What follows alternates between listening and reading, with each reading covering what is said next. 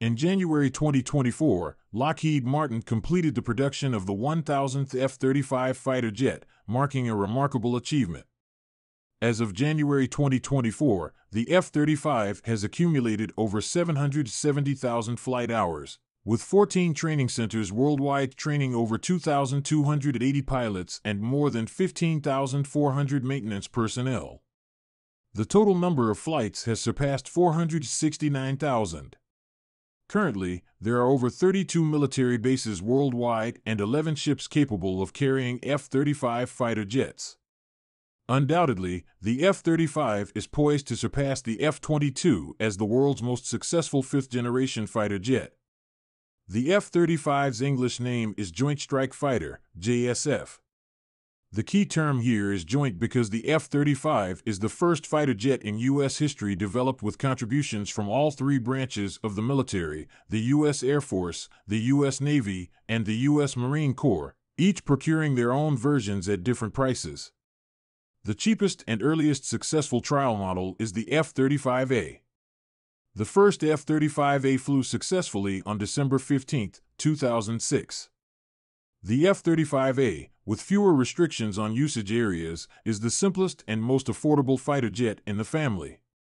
It is mainly used by various air forces around the world, including the U.S. Air Force, the Japan Air Self Defense Force, and the Royal Air Force, making it the most widely used version globally. Recently, the Czech Republic announced the purchase of 40 F 35 fighter jets, also of the A model. The reason is simple it's the cheapest model, yet sufficiently capable for the Air Force's needs. We often hear about the F 35's vertical takeoff and landing capability, which applies specifically to the B model. The F 35B utilizes a special lift fan structure for this purpose. When you see the F 35B taking off vertically in videos, you'll notice the hatch behind the cockpit opening. Inside is a lift fan, similar to a helicopter's rotor, generating upward lift when rotating. The lift fan itself has no power, it's driven by a complex drive shaft connected to the main engine's low pressure turbine. This complexity in the F 35B structure leads to higher costs and maintenance challenges. As a result, the cost of the F-35A model has reached over 80 million US dollars, while the price of the B model remains above 100 million US dollars. The use of a more complex structure also poses a potential issue limited space in the internal weapons bay. A long standing criticism of the F 35 is its small internal weapons capacity, with only four hardpoints. The U.S. has addressed this issue by improving the weapons bay for both the A and C models to accommodate six missiles, but the B model's bay remains unchanged due to limited internal space. Despite its complexity and higher cost, the F 35B's unique vertical takeoff and landing capability have made it popular among navies worldwide. For aircraft carriers, expensive catapult systems are no longer necessary, instead, the fighter jets can take off vertically. For example, the French aircraft carrier Charles de Gaulle, lacking catapult technology, had to purchase it from the U.S. for $120 million 40 years ago. France then sold its old carrier, the Foch, to Brazil for $1.4 billion, essentially trading an old carrier for a U.S. steam catapult. France's next generation aircraft carrier will use U.S. electromagnetic catapults, costing $1.3 billion. With that amount, you could buy several F 35BS for deployment on aircraft carriers. As a result, we see the UK's Queen Elizabeth class aircraft carriers equipped with F 35BS, as well as Italy's Cavour aircraft carrier. Japan's Izumo and Kaga helicopter destroyers equipped with US F 35BS. Even some amphibious assault ships can carry F 35BS, becoming light aircraft carriers. For example, the U.S. has nine amphibious assault ships, including the Wasp class and the newest America class, all capable of carrying more than 10 F 35B fighter jets. This is why the F 35B is widely popular worldwide.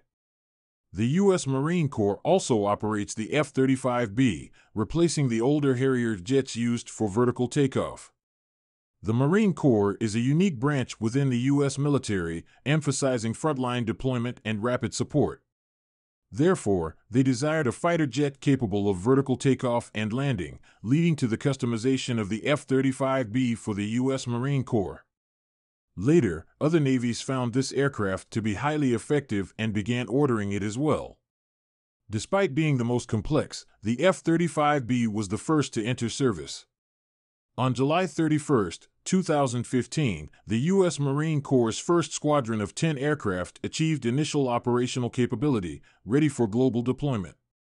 The squadron, Marine Fighter Attack Squadron 121, based in Arizona, became the first unit in history to be equipped with the F 35, attaining initial operational capability on August 2, 2016 the U.S. Air Force's first F 35A Squadron, the 34th Fighter Squadron of the 388th Fighter Wing at Hill Air Force Base in Utah, achieved initial operational capability a year later. Throughout the F 35's development, the U.S. Navy was the least satisfied with the project, thus receiving the aircraft last. On February 28, 2019, the first F 35C squadron aboard the USS Carl Vinson aircraft carrier attained operational certification, reaching initial operational capability with 10 F 35CS. Although the F 35's combat readiness dates are later, their delivery to the U.S. military came earlier.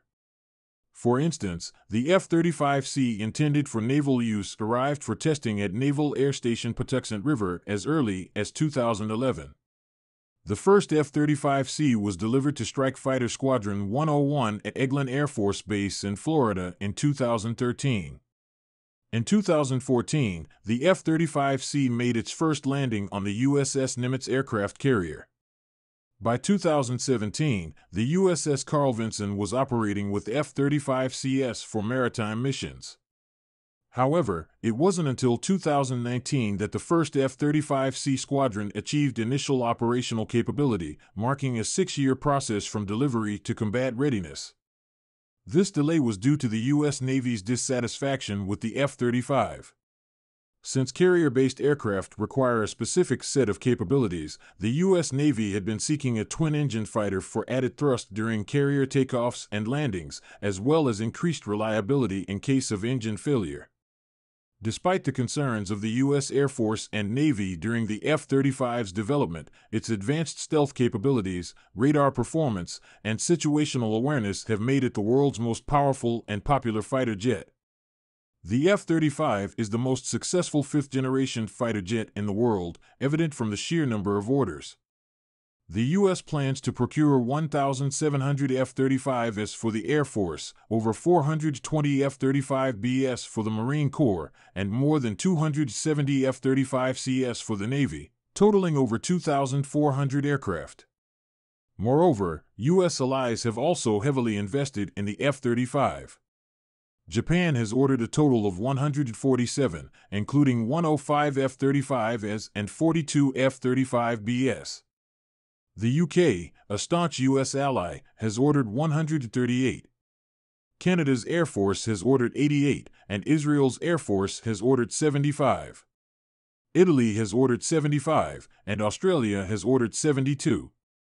Furthermore, European allies of the U.S. have ordered varying numbers of F 35s. Belgium has ordered 34, Denmark has ordered 27, Finland has ordered 64, Germany has ordered 35, the Netherlands has ordered 52, Norway has ordered 52, Poland has ordered 74, South Korea has ordered 62, and Switzerland has ordered 36. Adding up these orders, as of January 2024, there are orders for a total of 3,300 F 35s worldwide. As for production rates, according to this report, General Schmidt stated that they are producing at a rate of 156 aircraft per year, which is the contracted rate. He also mentioned that the goal for the coming years is to maintain a similar annual output. Therefore, in the foreseeable future, F 35 production will remain at around 160 aircraft per year. So, considering the current order numbers, Lockheed Martin would need to produce at full capacity for 15 years to fulfill existing orders.